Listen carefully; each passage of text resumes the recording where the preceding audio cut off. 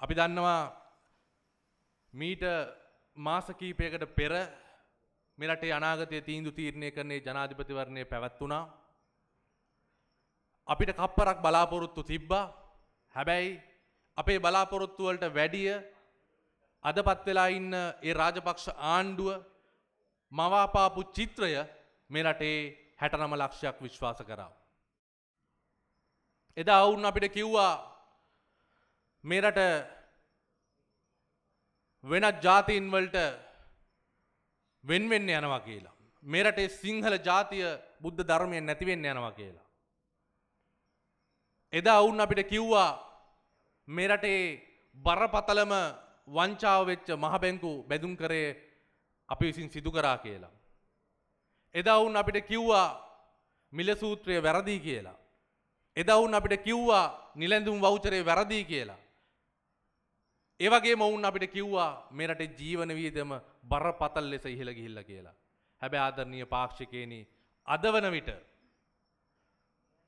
ඒ මහබැන්දු බැනුම් කර වංචාව හුදෙක්ම අලාභයක් බවට පත්වෙලා තියනවා. පාඩුවක් බවට පත්වෙලා තියෙනවා. ඇයි කට හේතුව තමයි මහින්ද රාජපක්ෂයෝගේ තමයි මහ බැංකුවේ බරපතලම වංචාව වෙලා තියෙන්නේ.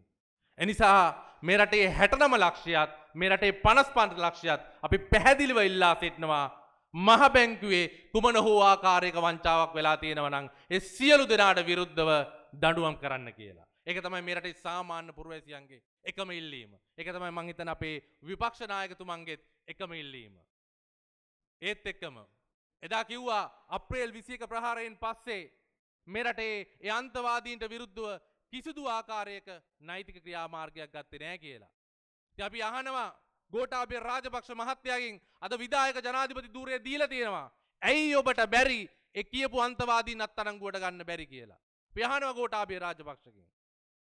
හැබැයි එදා වැරදිී කියපු මිල සූත්‍ර අද නිවැරදි වෙලා තියෙනවා.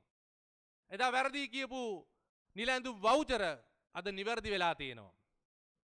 එදා අපිට ජීවන වීදම ගැන කියපු ආණ්ඩුව අද අපේ රටේ ජනතාවට එලවලු කනව වෙනුවට එලවලු සුබ්බොන තත්වට මේ රටේ ජනතාව පත් කරල තියෙනවා.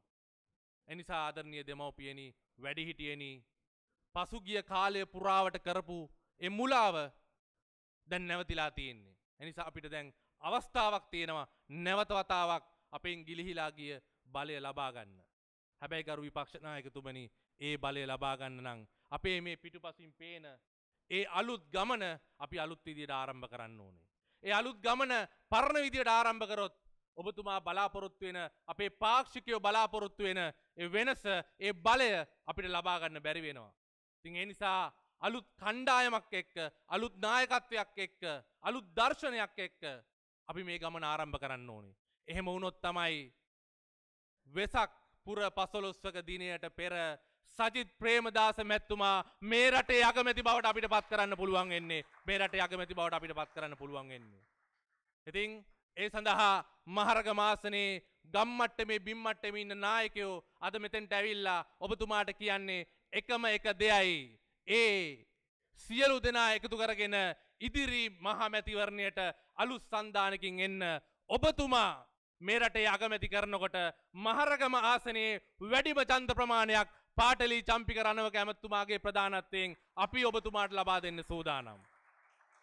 ඒ වගේම ගරු පාටලි චම්පි කරන්නව ඇමත්තුමනි ඔබතුමාගේ මේ සියලුදේ දැක්කහම අපි දන්න ඔබතුමා සාමාන්‍යයෙන් අලුත් දේවල් කරන්න හරි දක්ෂයෙක්. එනිසා ඒ අලුත් දේවල් නැවතවතාවක් මේ පක්ෂයටත් මේ රටරත් අවශ්‍ය වෙලාවක්.